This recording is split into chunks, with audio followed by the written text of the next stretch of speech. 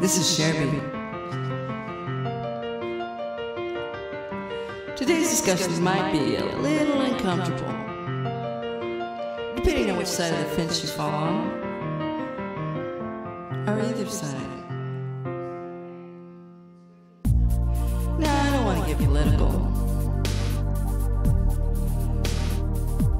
but like it or not, politics came into my church yesterday. That was a sacred place, and I always thought that would be safe from that. Yeah, Matthew chapter 22, verse 21, Jesus told them to give unto Caesar what belongs to Caesar, and to give unto God what belongs to God. Now, some of you are under the impression that politics is real critical to God and to His plan. Well, who gets into the White House? Who's going to be voted for Senate?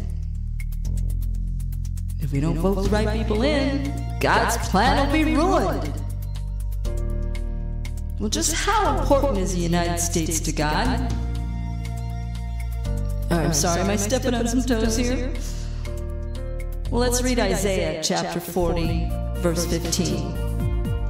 Behold, the nations are as a drop in the bucket and are counted as a small dust on the scales. Look, he lifts up the isles as a very little thing. Now, a very sad thing has happened with my brothers and sisters in the evangelical community. It seems as though they found themselves a worldly savior who's going to fix all of America's problems. Let's talk about that. Now, I'm not going to criticize the office of the president, and I'm not going to disrespect him. But we need to put things in perspective here. As Christians, we got to realize that there's only one way this world's going to get any better. And the United States, we're already into death throes. We need to be looking forward our Savior coming back, establishing His kingdom here.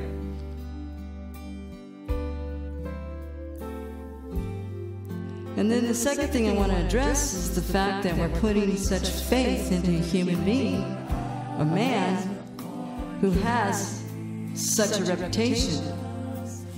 This man has had multiple marriages. He's been accused of adultery. He's actually admitted to it. He has questionable, unethical business practices. And above all, he has arrogance that no Christian should hold. So no Christian should have such attitude. You know, the Bible says we'll know them by their fruit. See pride and arrogance, that's a fleshly fruit. And I'm not saying he's not saved. But even if he is a newly convert, it takes time for a heart to be regenerated. And that person needs time to grow before they're put into a new position. You know, if his conversion is true, then it's not fair to Trump that he's been put in this position. A newly convert should not be put in, this position while he's a babe in the Lord.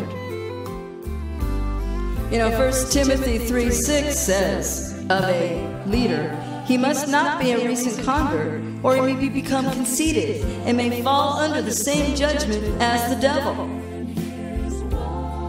Or as the New Living Translation says, an elder or person in position must not be a new believer because he might be proud or may become proud, and the devil would cause him to fail or fall.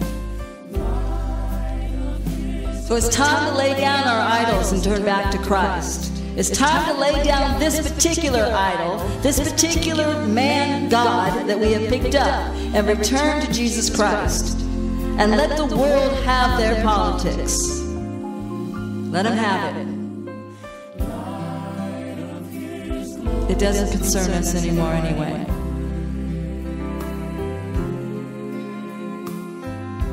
This is Sherby. That's all I wanted to say.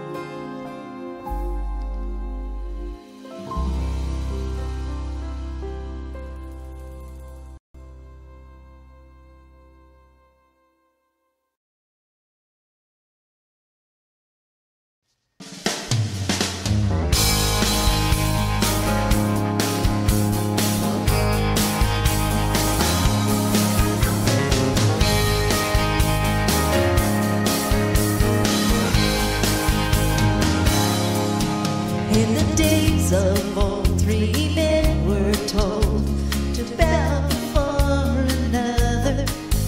But they were bold and their faith took hold. They said, We won't bow to any other but the Lord.